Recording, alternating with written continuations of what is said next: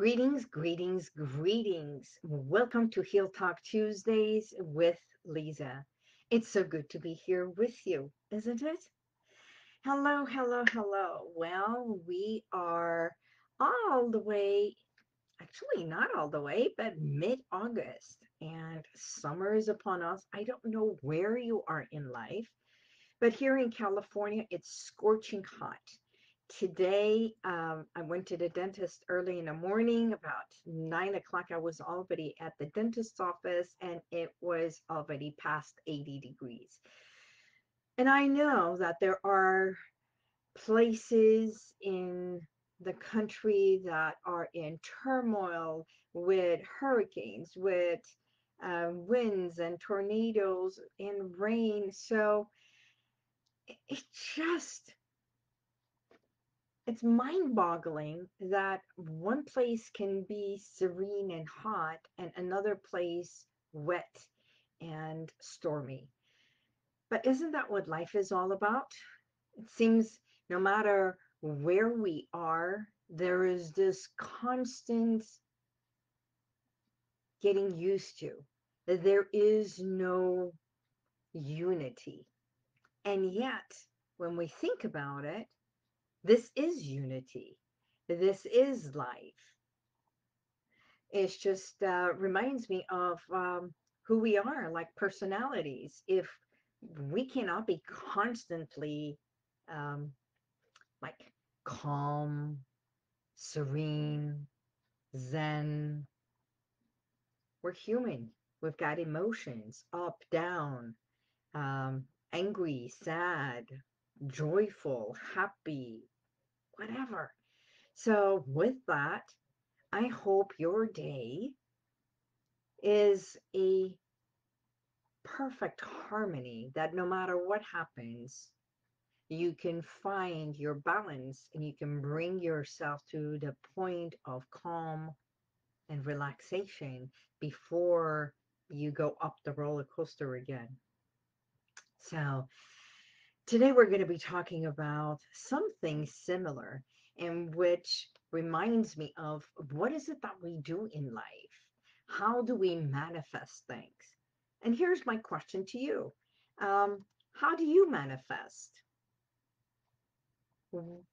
When you think about it, do you plan it or do you sit and visualize and truly believe in the law of attraction and manifestation?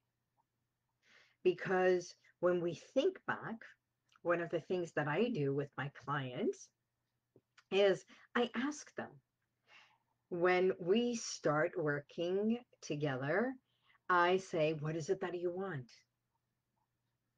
Truly, what is it that you want? What is it that you want to accomplish? The reason that you have come here for hypnotherapy is to shift something. And funny, just two days ago, I was being interviewed and they said, Would you please even tell us what is hypnosis? I mean, what is it that you do? What is a clinical hypno, hypnotherapist? And what is the difference between a hypnotist? And I was wondering if you, as my audience, would like to hear this. So I'm going to give the short version for those of you who haven't heard it. Hi, how are you? Um, thank you for being here. Here's the short version. I like to explain it this way because nowadays everyone is doing Zoom. Every one of us is on the computer. Every single person. Love the oh and look who is here. My favorite, favorite coach, mentor, someone that I admire Forbes Riley's in the house. Hi, Forbes. Don't you love my entire background? Ah, and for those of you who uh, want to know more about this, let me know. I'm going to give you a place for you to go so you can learn how to pitch, how to have a beautiful background, and everything. So, back to hypnosis. I'm here to hypnotize you, not by a clog, but only my voice. You see, one of the tricks about hypnosis is how we can, or how I shift my regular speaking voice to my hypnotic voice so I can calm you into a dip, deeper and deeper state of relaxation. So, how hypnosis happens is because I truly believe hypnosis is nothing but self hypnosis. And when someone goes to a hypnotherapist to have someone help them shift their mindset and reset with a heart set, that's what I call it, is because we are bypassing our conscious level, which is by looking, listening, and learning. It's just like a video. And by panning it out, the video camera only looks, listens, and learns. And what it does, it captures, right? As it looks at it takes the audio, it captures. So when it captures, just like a computer, when you type everything and you open a file, you place it in there and that file gets what? Stored. It gets stored somewhere, which is the motherboard, that little chip. That little chip depending on how many megabytes or how big of a file your computer has, this little chip is called our subconscious mind. Our subconscious mind stores all that information that you looked, listened, and learned from the day that you were born until this very moment. This moment, right? So if I were to ask you, do you recall um, your best friend from kindergarten or elementary school? Perhaps a toy you loved? Did you happen to hold a blankie or something like that until you were about six or seven years old? Something that reminds you of home, cooking, smell, grandparents? You see, what happens is right now, instantly, your mind did a rewind. In the same way, when we search files, your subconscious mind has been storing all that information. And the moment I asked that, the moment you even thought about it, it did a rewind. It was doing a search to do a, a recall and bring that file up to you. And by doing so, it becomes real. It becomes at this very moment. So it does a recall and it also stores the information. And the last thing your subconscious mind does is regulates your entire bodily function. You don't even think about your heartbeat, your mind, your pancreas, your liver, none of that until there is something off or wrong. And the same thing goes with our habits and behaviors. All the things that you have captured and learned and stored within you, either knowingly or by repetition, by seeing it, hearing it, and doing it. You see, when we brush our teeth, we don't give it a second thought except standing in front of the mirror. And sometimes we don't even look in the mirror and we just brush our teeth, right? And some people do it right off fast, and others take the two minutes to truly brush the teeth from the gum and do it properly. Now, it's not about which is correct, which is not, except what we have learned and what we continue to do. Now, the reason you come to a hypnotherapist is because a habit or a behavior that you have incorporated, either knowingly or unknowingly, it's no longer working for you. So let's give an example. Smokers. We were not born smokers. People who cannot sleep. It's not that they could never sleep, that there is something going on, and now it's affecting their sleep pattern. Uh, for those who gain weight, and especially during COVID, so many of my clients nowadays have been coming here because of all the weight they have gained. And it's not so much because of what they eat, really.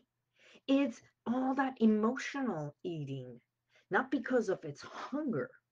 So that pit, that hole, it's being filled by feel good eating, feel good drinking. So many are starting to drink. So anything, any pattern, any habit, or a behavior that no longer is beneficial to you or enhances who you are and want to be is what we work. Now, the difference between a cognitive therapy and hypnosis is because we delve into the subconscious mind where everything is stored and we tap into it and we shift it much more profoundly from the basic pattern, from the beginning of the causation, not the symptoms.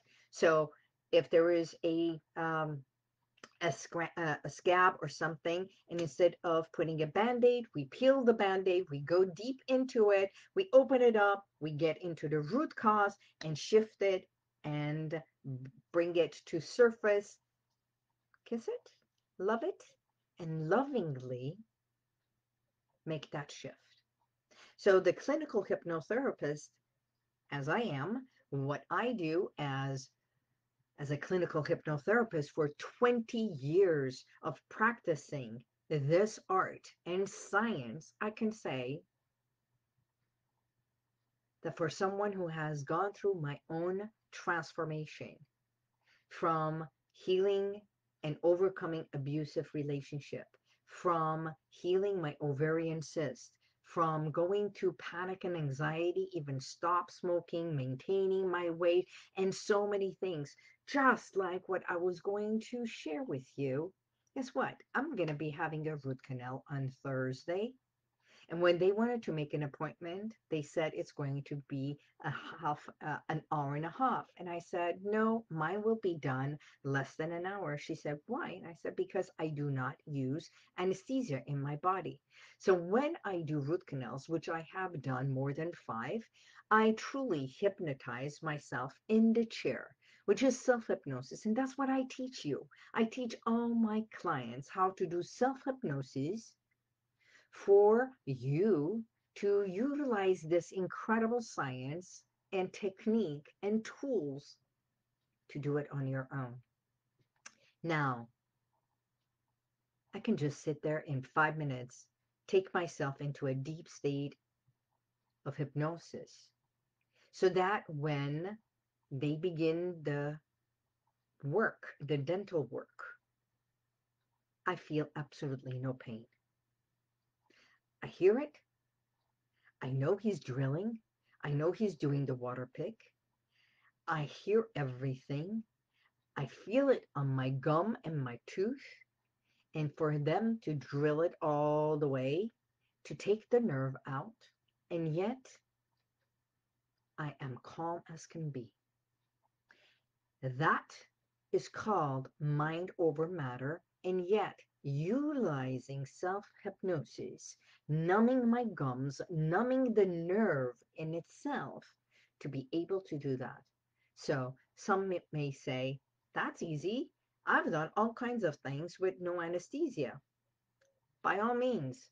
And you know, there are hypnotists that do on stage and take you up on stage and you laugh and everything. The difference is, as a clinical hypnotherapist, we do more of healing work and for you to learn self-hypnosis to overcome pain, to overcome certain habits and behaviors that you can utilize and shift it on your own. And the ones who come to me is because sometimes, just like me, that I have my own coach, my own mentor, my own trainers in life. We always need someone to hold our hand or help us through that. So manifesting is knowing what it is that you want first and foremost. Yesterday I got a call and this guy, he's in Philadelphia and says, I want to become more confident and I want to make a bunch of money. And I said, that's awesome. I can help you. I can help you first and foremost become more uh, confident. But first, we need to work on your self-esteem. After asking him a few questions, I realized he's lacking self esteem, which is valuing himself because he has the confidence to do the work. He owns two nail salons. Listen to this. He owns two nail salons. He is 34 years old and he wants to make billion, millions of money. Apparently, I like this word billion. Let's go for that. Let's manifest something in the bees. Wow, it even rhymes with my last name. Billions of Boubari. Okay, I'm going to put that in my mind. You know, when you want something and you feel it and you want it bad enough, what is it that they say? Be aware of your wishes because wishes do come true. Like I manifested Forbes in my life and that became a reality. And and so can you. So back to that. You know what he said? I want to make millions of dollars. And my question to him was, have you first, have you made your first million? Well, not yet. I said, have you made your first half a million? Well, no. And I said, okay, then let's work on why is it that you do not believe you can be a millionaire? But he said, and he said, but I want to be a millionaire. That's awesome.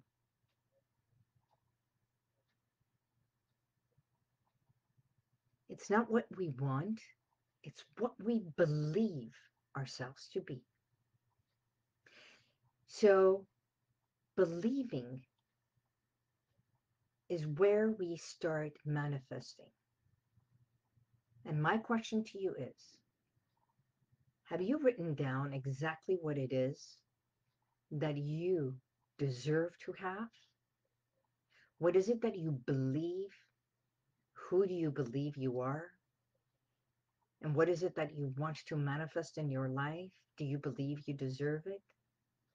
And have you created the space for you to step into it? That is the difference so as he signed up and he says, you know what? I grew up in a household with seven kids and I constantly had to fight to have my own bed, my own food, my own everything because I was kid number six. So that is a story that he has to fight for everything. And he thought he did not deserve it. But now he wants to have this incredible life, even though he is successful by having two nail salons and people working for him. He says, I spend more. And I said, How do you spend it? He says, I like to gamble. So it's not that he does not make it, he makes it and he he some people may say it's not a waste but i call it giving it to the gambling uh, casinos is a waste. So it's not he doesn't know how to hold it how to save it how to make it better. And that is why he signed up and he said if there is something which i call it i help you evoke what was. So let us go and look at the patterns the platform where you came with this belief I don't deserve. And by boosting your self-esteem, knowing that you are deserving, we come to embrace who you are, the reality, so that you can evolve to what you want. Now, here's my question to you. What is it that you are ready to manifest? What story have you been holding on to that no longer serves you?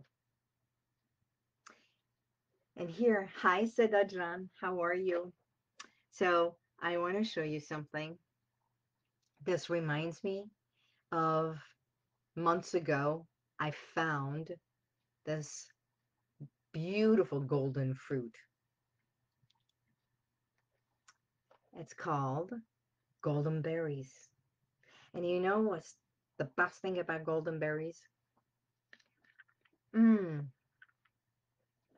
Not only it's juicy, not only it's delicious, the seeds inside, it's got so many uh, antioxidants and it is so sweet and tasty to my palate that it reminds me when I look at it, it just makes me happy. And you can find it at any Trader Joe's or Whole Foods. They might have it, but I always find it at Trader Joe's. Golden berries